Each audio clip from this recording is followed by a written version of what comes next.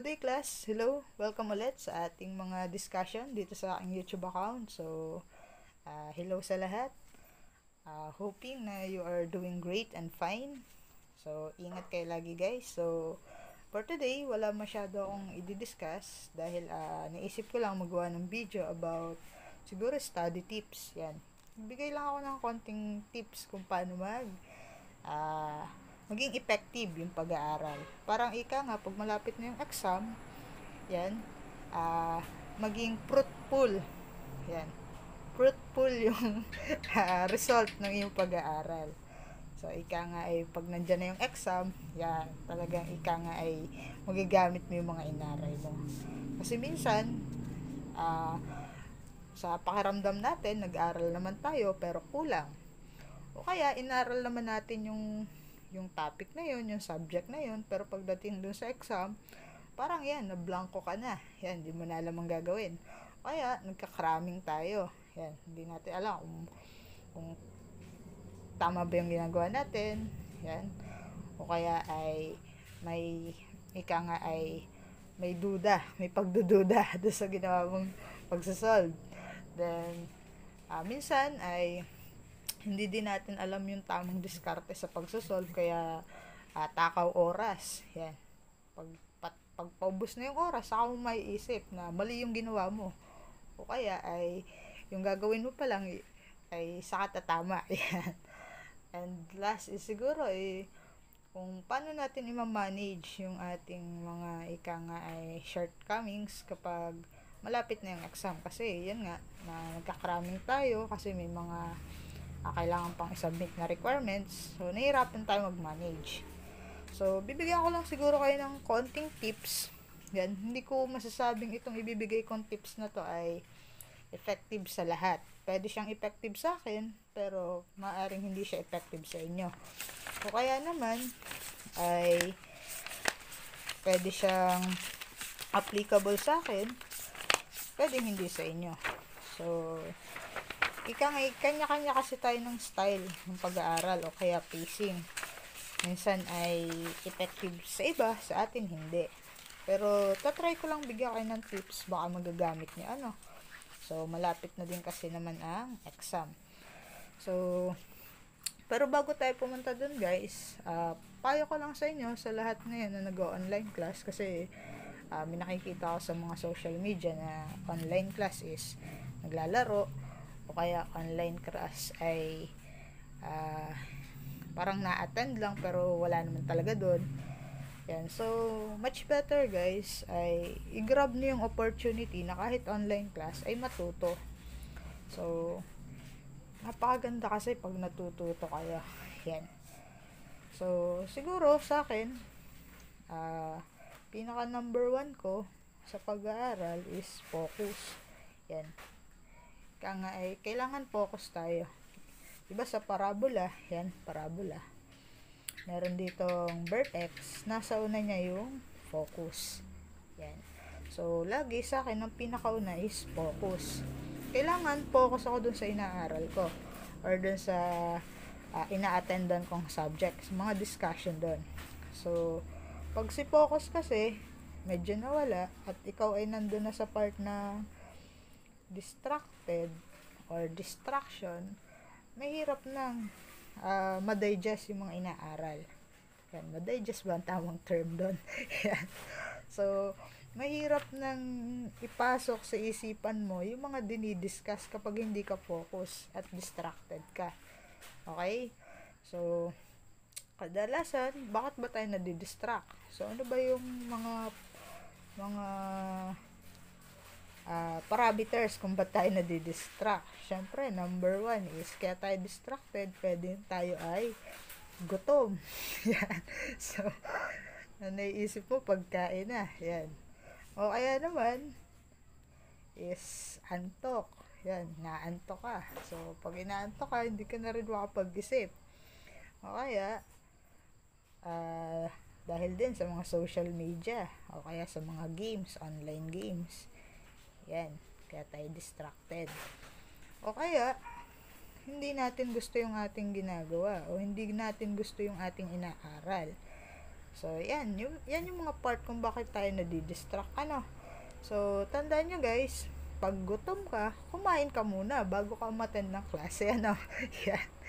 So, o kaya naman guys ay uh, wag sobrang busog kasi mamaya aantokin ka na kasunod nun. So, anto, kaya hindi naman may iwasang magpuyat, pero make sure, kaya kayo nagpupuyat is dahil uh, part ng uh, ika nga sa subject, kaya kayo napuyat, pero dahil napuyat kayo, kalalaro lang, ka sa social media, so hindi na yun healthy. Yan. So, kailangan i-manage nyo din yan sa sarili nyo. Kaya bawasan nyo yung pag, uh, ika nga pag gamit ng ating social media. Ano pa ba kung bakit nadidistract? Yan. So, hindi naman siguro dahil walang love life, ano. Yan. Pero, all of that, kailangan nga, focus ka. Focus ka sa mga discussion. Either yan ay online class, or module, o kung ano man, kung ano way or platform ng teaching, kailangan nandun ang focus mo. Bibigyan mo ng oras na yun lang talagang inaaral mo. So, sabi ko nga sa estudyante ko, sa discussion, kailangan 50% nakuha mo yung diniscuss. Yan, 50% sa discussion, kailangan na unawaan mo yon. Kasi kung na-discuss halimbawa ang isang topic within 3 hours, tapos wala ka namang naintindihan dun sa topic na yun na 3 hours, as in zero talaga yung naintindihan mo, ang laki pa ng pagkukulang sa aralin mo. Eh kung nakuha mo na yung 50%, ipapollow up mo na lang yung natitirang percent. So, kaya minsan, uh, pagkakamali din ng estudyante, uh, hindi hindi nakikinig, yan, hindi nakikinig sa mga discussion. So, kaya pag inaral, medyo wala siyang way kung paano kung paano papanimulan. Yan. So, make sure kung ano man yung dinidiscuss sa inyo, kailangan makinig kayo doon, focus lang kayo sa pakikinig. Dapat at least 50% ng learning makuha nyo doon sa mga subject na yon. So, ano bang mga pwedeng learning? Siyempre, yung concept, mahalaga. Yan, yung concept ng mga dinidiscuss, yung formula, kung paano gamitin yung mga formula na yon at higit sa lahat, kung paano mag-analyze. Yan. So, hindi pwedeng diretso ka agad sa formula. Kailangan concept muna. Intindihin mo kung paano nangyari yung pagsasolve na yon. Kung saan nagsimula, kung ano dapat mo nang intindihin. Okay?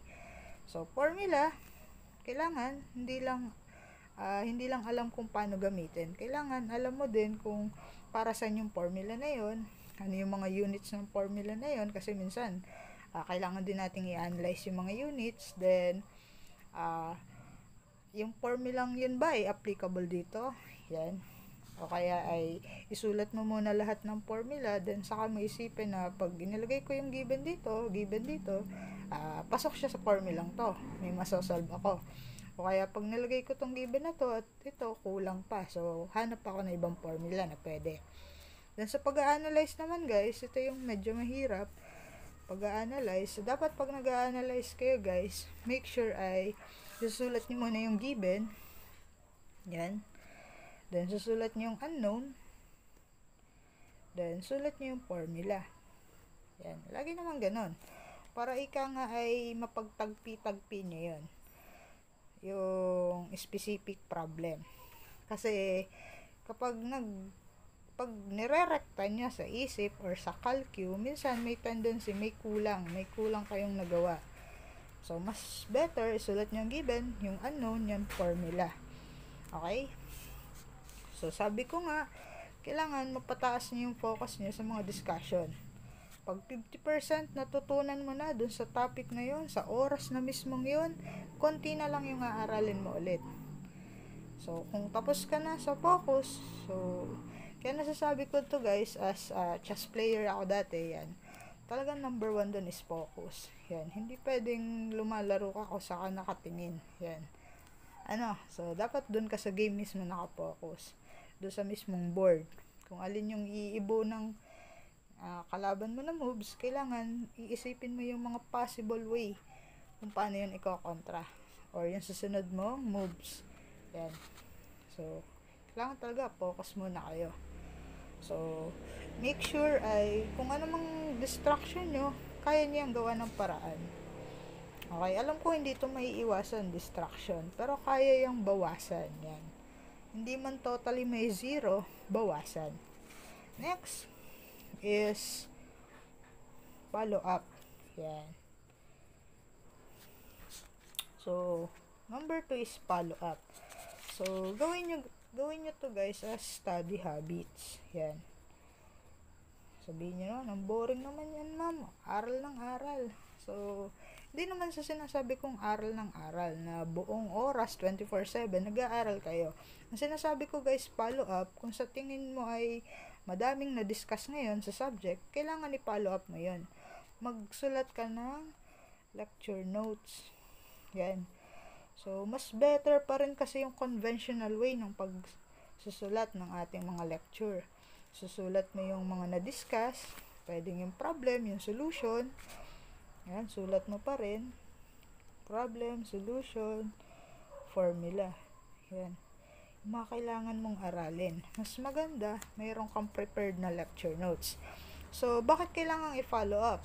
So, hindi naman kailangan, sabi ko, 24-7. Study habits. Kahit siguro 30 minutes to 1 hour.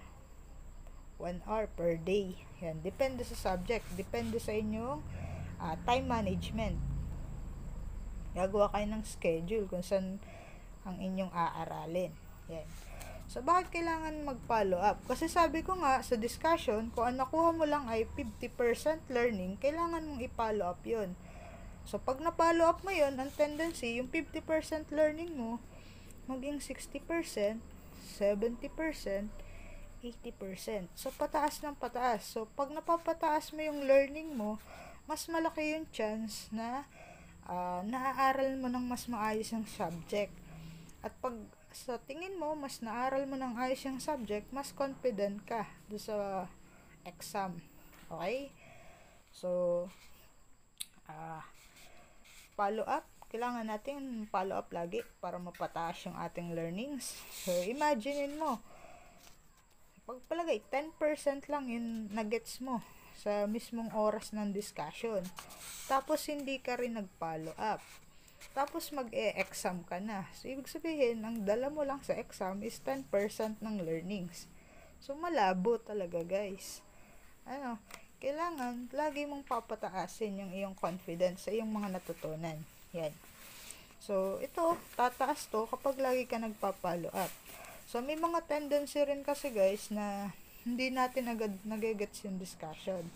Kaya pwede mong i-view yung inyong recordings, balikan yung recordings, o kaya magtanong kayo sa inyong professor. Pwede kayo magtanong sa inyong classmate, sa inyong professor, para kung may kinakalituhan kayo, yan, ay di, baka magagawa ng paraang bigyan kayo ng ika nga ay uh, dagdag idea para mawala yung inyong kinakalituhan.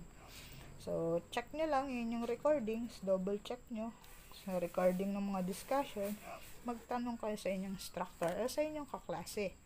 Okay? So, ang pagpapalo up guys ay kung ano yung uh, natapos yung discussion. Halimbawa, ang natapos yung topic is about equilibrium. Yan, sa P6. Halimbawa, ito ang natapos. So, ito munang ipapalo up mo huwag ka munang pupunta sa kahit anong topic. So, i-follow up mo na i-follow up para maayos yung pagkakapatas. Yan. Papatas mo ng maayos yung iyong inaaral para hindi siya maglahok-lahok. Ano? So, ang kagandahan, pag nagpa-follow up ka, study habits, may schedule ka, kahit yan ay 30 minutes to 1 hour a day, mapapataas mo yung iyong learnings. Mapapatas mo ng maayos. Tapos, kung may mga kinakalituhan ka, yan. Mas ika nga ay magkakaroon ng linaw. Then, so, yung style ng pagpapalo up, wag ka munang dediretso sa problem solving. So, ang style ng pagpapalo up, guys, concept muna ulit. Concept. So, pag, pag naaral mo na yung mga concept, aralin mo yung formula, saka mo, ara, saka mo aralin yung pag-analyze, saka ka mag-solve. Yan. Laging ganon. Hindi pwedeng solve muna. Pag nag-solve ka muna, ang tendency, titingnan mo din kung paano siya sinolve, ano? So, much better, concept muna sa mga discussion, ano yung kailangan tandaan, ano yung mga bawal, ano mga hindi, anong pwede, anong gagawin pag gantong condition, yan. So, sa mga concept muna. So, tatandaan nyo kasi, pwedeng may lecture kayo. May bigay na lecture yung instructor nyo. Pero hindi nagsasalita yung lecture, ano. Pwede pala, pag naka-record yan. Pero ang kagandahan nga, kung nagigets mo siya sa discussion, nakuha mo yung mga concept dun, pag pinalo up mo, nagigets mo din agad. Kaya nga sa mga video ko dito sa YouTube, ang ginagawa ko, naglalagay ako ng reminder, notes, yan, yung mga dapat niyong tandaan. Kasi more on concept talaga. Concept principle. Yan. Then, pag gets mo na yan, saka ka pumunta sa formula, so try mong i-analyze, saka ka mag-solve. So, hindi pwedeng solve agad, saka ka magpo-formula, hindi mo naman natandaan yung formula, magsosolve ka agad. So, tendency, bubuklat-buklatin mo din yung formula. O kaya, nag-solve ka, may mali kang nagawa sa concept. Halimbawa, dun sa equilibrium at na, ng concurrent, non-concurrent, yan. May nakalimutan ang concept. Yun. So, magra-rumble-rumble lang yan. Kaya dapat, ganun din ang way ng pagpapalo up. Sa concept mo na, lahat ng mga kailangang intindihin sa concept na terms, yan. Then, formula, analyze, solve. So, pag okay ka na, so follow up, number 3 is yan. So, ang kagandahan, pag nagpa-follow up ka, napapataas mo yung learnings mo. Yan. So, per number 3 siguro is uh, ka nga ay uh, dapat hardworking kayo guys. Yan. Hard work. Yan. So, bakit hard work? So, kasi, syempre, do sa ating mga inaaral, minsan may mga problem set, yan. Problem set or P set, o kaya exercises. So, kailangan medyo masipag ka din. Yan. Sa paggagawa nito. Kasi kadalasan, kinokopya lang yan. Pag, pag kinopya, yun, nakopya mo nga yung sagot, pero hindi mo naman naintindihan. So, itong mga prob set na to, exercise. Kaya yan binibigay para ma-test mo yung sarili mo. Para maka-test mo yung sarili mo at makapag-evaluate. Yan. Para ma-evaluate mo yung sarili mo. Kung yung natutunan mo dito sa discussion at dito sa pagpa-follow up ay may ilagay mo dito. Yan. Ano? So, yung mga problem set, exercises, kailangan kayo mismo. Kayo mismo ang nag-solve kayo mismo ang nag-work hard doon o hard work. So, tatandaan nyo, there is no substitute in hard work. Ano? So, ika nga ay uh, sipagan mo lang, sipagan mo pa. So, kaya mo yan. So, problem set, exercise, ano pa mga pwede nyong sa tingin nyo makakatulong sa inyong pag-aaral, gawin nyo lang ng gawin guys. At sure ako, unti-unti, mag improve kayo. Yan. Kasi the more na nagsosolve kayo, the more na nag-aaral kayo, the more na nai-enjoy nyo yung pag-aaral, mas uh, mas tumataas yung inyong capacity sa learnings. Yan. Mas ika nga ay uh, mas nagiging confident kayo sa sa sarili nyo. So, masarap kasi sa pakiramdam na ikaw yung nag-solve, tapos tumama yung sagot mo, ano, yan. Kaya nga ay the best na yon sa atin. yan. So, work hard, hard work. Kung anong sa tingin mo ay magpapahusay sa'yo, gawin mo lang. Ano, no shortcuts. Yan. Yan. No shortcuts. Kung maaari. Next is, So, hardworking, medyo masipag-sipag ka pa. Sipagan mo lang, ano. Kasi minsan ay ika nga ay mas natatamad tayo pag ika nga ay uh, madami tayong ika nga ay distraction, yan. O kaya na nahihilig ka sa ganong game, nawawala na yung pagiging hardworking mo as a student. So, as a student, dapat hardworking ka. Yan. Hindi pwedeng iaasa mo lagi sa instructor mo yung mga bagay-bagay. Kailangan sa sarili mo, ikaw mismo sa sarili mo, masipag ka. Yan. Next is number 4 siguro.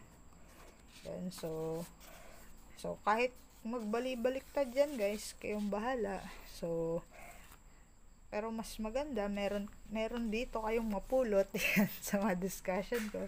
So, number 4 siguro is organize your lecture. Yan.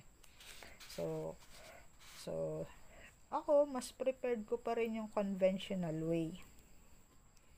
Ano yung conventional way? Yung sinusulat. Yan. Sinusulat yung mga concept, formula, sinus- sinusulat ko sa isang index card. Yan, kagaya nito.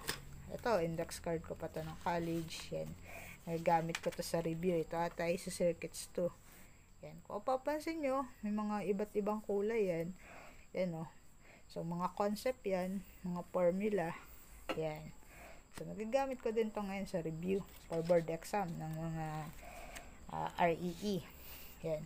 So, ang kagandahan, pag organize yung lecture mo, mas sisipagin ka mag-aral. Para sa akin, mas sinisipag ako mag-aral kapag kita ko yung lecture ko ay hindi sabog-sabog yan or ika nga ay makulay yan.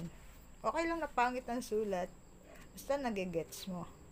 So, uh, pag organize yung lecture, madali pating balikan. Yan, buti pa yan, madaling balikan. Ika nga, pag hahanapin mo, hahanapin mo yung topic na ito. O, dito ka lang pupunta. Hahanapin mo yung uh, formula nito. O, dito ka lang pupunta. Yan. Hindi yung hinanap mo na ng hinanap. Hindi mo wala ko saan ilagay. Yan. So, organize yung lecture nyo guys. So, conventional way, mas maganda sinusulat nyo pa rin. So, mas madali kasing aralin pag mga hard copy. Kumpara dun sa pinipicturean nyo lang, binabrowse nyo lang sa laptop, sa cellphone. So, mas tatama din kayo dun guys. Yan. So, naniniwala kasi ako na repetition repetition is a form of mastery. Yan. The way na inuulit-ulit mo, mas namamaster mo yon Okay? So, sa, halimbawa, sa pagsasaulo, yan. Uulit-ulitin mo, mas mas nasa sa ulo mo yun. O kaya sa pakikinig ng kanta, kahit hindi mo naman binasa yung lyrics, pero paulit-ulit mo napapakinggan, nasa sa ulo mo din, di ba? So, repetition is a form of mastery. So, ulit-ulitin mo lang uh, aralin yung mga formula, yung mga concept, then uh, i mag ika nga ay i-try mo sa pagsosolve hanggang sa ma-master mo ng ma-master. So, ang pagsosolve guys, magsisimula ka sa madali hanggang sa pahirap ng pahirap. Hindi pwedeng madali na paulit-ulit na madali lang yung sinasolve. Hindi pwede. Then, ah, uh, syempre, pag, kung gusto mo talagang mas matuto pa, maghanap ka ng ibang references na pwedeng aralin. Yan. So, organize your lecture and number 5 siguro, yan, sa lahat-lahat is uh, take a break. Yan. take a break. Have a Kit Kat. Yan. So, kung sa tingin mo ikaw ay exhausted na, pwede ka naman mag-break. Yan. So, pwede kang magpahinga, pwede kang matulog, pwede kang kumain, pwede kang uh, uh, mag-so- mag-social media. Pero, yung pag-take ng break, yan, dapat ika nga ay uh, ika ngay alam mo kung gaano katagal. Yan. Kung kung uh, kung gaano lang ka kahaba yung iyong kukuning break. Halimbawa, nag-aral ka ng 30 minutes. Yan. So, pwede kang mag-break ng 15 minutes. Tapos, saka ka ulit mag-aral. Yan. So, wag naman nag-aral ka ng 30 minutes, tapos ang break mo ay 2 hours. Yan. So, mas effective kasi kung kung uh, mag-aaral ka muna bago break, then aral ulit. So, take a break, kailangan nyo din yan guys. So, mas maganda ay mag-unwind din kayo. So, yung pag-unwind guys, kung maaari, connect sa nature. Yan. Tayo sa, sa dagat. kung may malapit na dagat, yan. Kaya magbunot kayo ng damo. yan. Mga iba naman. O kaya ikakausapin mo yung mga halaman ng iyong parents. So, mas better na pag-unwind yung ika nga ay kumukonect kayo sa nature. O kaya kahit music lang. Pero yung halimbawa ay uh, nag-take break kayo, halimbawa maglalaro kayo ng online games na na stress na rin kayo doon at lagi kayong talo, ayan, di magko-contribute magko-contribute din siya as factor doon sa inyong distraction. So, kailangan, pwede naman yan guys, basta ika nga ay hindi siya nagko-contribute na talagang ika nga ay big factor na ikaw ay distracted na sa pag-aaral. So, yan guys, medyo yung 5 minutes ko naging 30 minutes. so, sana may na natutunan kayo kahit pa paano. Uh, kung may mga uh, gusto kayong itanong na kung gusto niyo humingi ng payo, pwede naman kayo mag-comment dito sa ating comment section. So, tatandaan nyo guys, walang estudyanteng bobo. Lahat kayo matatalino. Basta tama lang yung inyong aral. Kaya nga ang laging payo ko, study wisely. Underscore EAC review. yeah. So, matalinong pag-aaral guys. Para efficient, productive, at higit sa lahat ay nag-grow kayo sa inyong ginagawa.